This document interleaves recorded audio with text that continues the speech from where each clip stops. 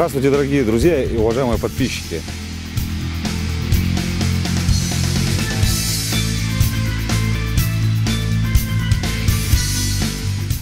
находиться в деревянном доме, красота, а запах какой-то сосны. Я поклонник бревенчатых домов. Комфортно, экологично и тепло в нем.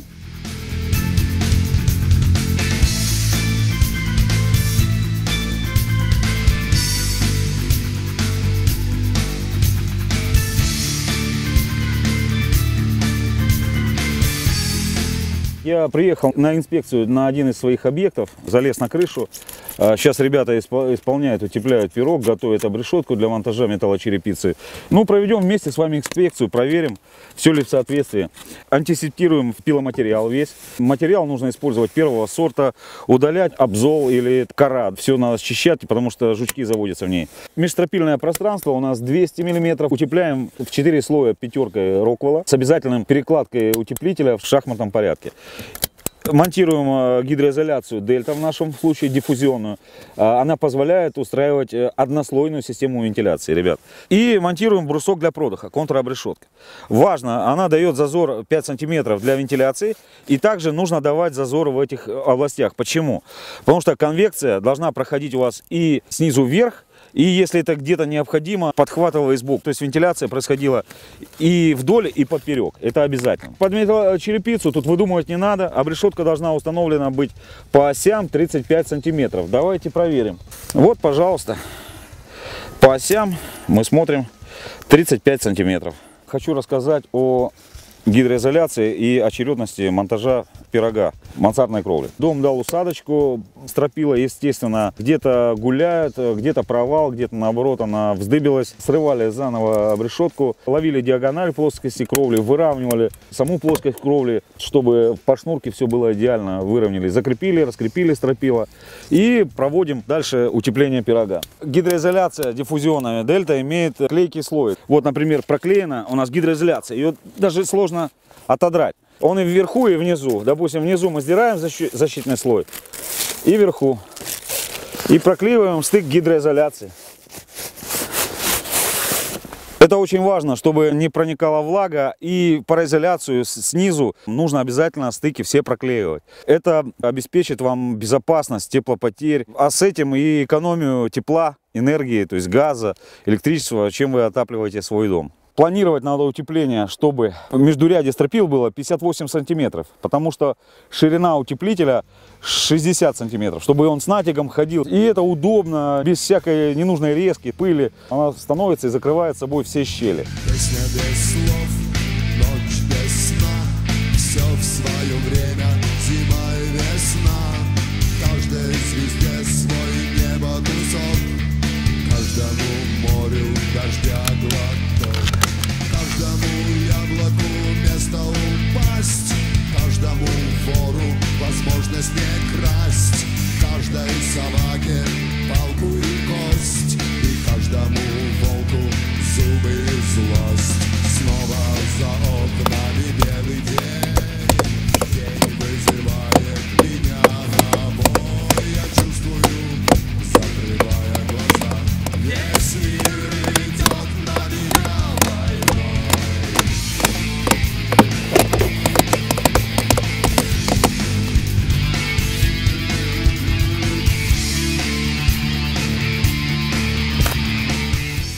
хочу рассказать вам о карнизе. Есть э, работы, которые мы не будем исполнять. Например, подшивку свесов и монтаж желобов. Наша задача накрыть э, металлочерепицей на зиму дом. Подшивка свесов и желоба будет в следующем сезоне. Сюда установим мы сеточку, чтобы задекорировать это отверстие. Установили мы капельник на карниз, и гидроизоляция к нему приклеивается. Довольно-таки жестко конденсат будет стекать, желоба будут монтироваться сверху. Постоянная конвекция. Теплый воздух, он будет постоянно выветриваться. Если продыха нет, тогда будет конденсат. А вот и сеточка. Вентиляционную ленту ПВХ, она довольно-таки жесткая. Потому что птички, синички, осы и прочие насекомые очень любят эти места. И забираются вот сюда под крышу и в этом зазоре э, устраивают себе гнезда. Это неправильно. Надо их отсюда отсечь. Пускай летят к соседу. Лента ПВХ, она продается по 5 метров. Есть любого цвета под цвет металлочерепицы, но ходовые цвета, да, темно-коричневые, темно-красные и темно-зеленые. Наша компания постоянно использует, декорирует вот эти вентзазоры. И, в принципе, она хорошо себя показала, не деформируется со временем, не теряет цвет. Вот, а защита и декор в принципе, достойны. О важной вещи экипировки и оснащению кровельщика. Влияет на производительность труда, на безопасность. Кровельщик всегда работает на крыше. Скат кровли, неудобно ходить, надо думать о безопасности. Одна рука занята держать за канат. У кровельщик, как правило, используют подсумок. То есть вы себя разгрузили, у вас уже появляется вторая свободная рука. Я могу уже взять э, какой-то инструмент или материал, я уже могу подниматься. К вам не придется бегать вверх-вниз э, э, за гвоздями, шурупами, молотками, там вечно саморезы сыпятся. В следующих видео мы продолжим вас знакомить с кровельными хитростями, поговорим, например, о страховке. Вопросы вы уже задавали, как специалисты вашей компании страхуются. Это тоже очень важная часть. Мы поднялись изнутри посмотреть обратную сторону пирога мансардной кровли. Здесь мы устанавливаем зеркальную пароизоляцию Дельта Reflex трехслойную, которая еще э, и отражает тепло, не только его задерживает, еще и отражает зеркальная поверхность. Все стандартно, с проклейкой стыков, без разрезов. Монтируется обрешетка, желательно саморезами, потому что клиент будет производить отделку, обрешетка будет являться несущей конструкцией. Гвоздь он все-таки вытягивает со временем, а саморез держит доску хорошо. Проклеивают специальными скотчами все стыки, сопряжение стен с пароизоляцией и по периметру. Не обычными скотчами, да, рыночными, а там клей клеющая часть составляет 3 миллиметра, и довольно-таки она клейкая. В брусовом доме, в бревенчатом, сделать это еще сложнее, потому что бревенчатая структура полукруглая. На бетон или на кирпич приклеить попроще. Но все равно продукция в виде скотчей да, специальных, фольгированных. Это позволит проклеить. Если это не заизолировать, обязательно те потери неизбежны в этих местах. И э, будет точка росы в этом месте. Если есть стадо, если есть тело,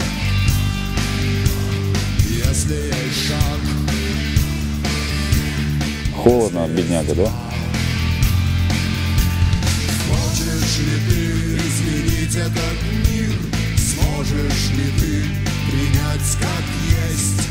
Мы монтируем металлочерепицу и поднимаем ее наверх. У нас скат около 6 метров. В компании Круфмонтаж есть возможность заказать целый лист неразрывный. Некоторые компании набирают из трех листов, да, этот 6 метров, там по 2 метра. Значит, есть дополнительные стыки. Компания Круфмонтаж от конька донизу заказывает цеху неразрывный лист. Просто нужен определенный навык поднимать это все наверх. Еще хочу сказать, так как нас смотрят э, заказчики, у нас по смете идет металлочерепица полиэстер с цинком 270 75 грамм на квадратный метр. Указана маркировка гарантия 15 лет. С толщиной 0,5. Металлочерепица неплохого качества, импортного производителя. Для поднятия металлочерепицы довольно длинного листа нужны направляющие доски. Как мы делаем? Здесь делаем отверстие, отмечаем центр под самый верх и загоняем туда крючок. В этом месте перекроет конек. Наши замерщики всегда берут металлочерепицу чуть больше, с запасом на 10 сантиметров. Этот элемент обрежется. И поднимаем наверх. Подавай! is your.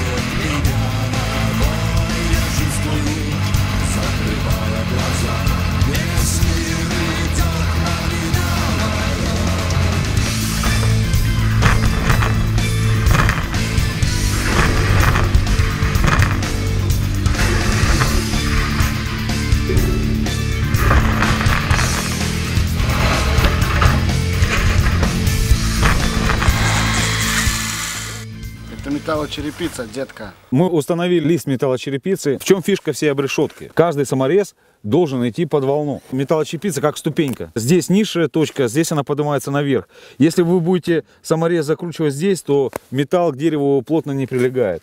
Его местонахождение под волной. Когда вы отойдете, они в тени этой волны, их незаметно. И поэтому металлочерепица смотрится красиво.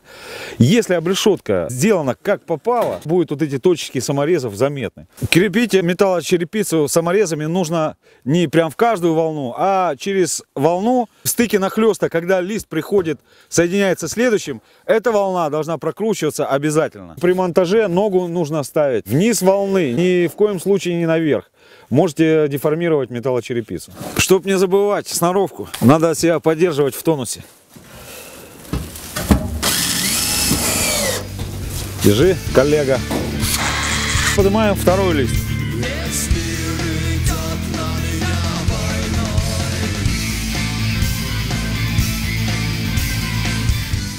При монтаже следующего листа надо смотреть обязательно все зазоры, чтобы прилегание было настолько плотным, чтобы с улицы практически было незаметно этого стыка. Начинаем монтаж. Поехали!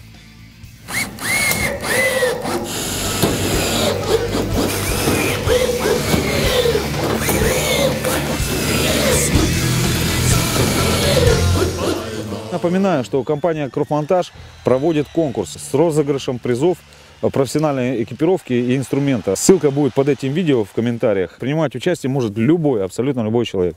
Смотрите условия. Дорогие друзья, мы показали вам основы монтажа металлочерепицы, утепления мансардного пирога на нашем объекте. С вами был Мороз Алексей, компания Крофмонтаж. Пока.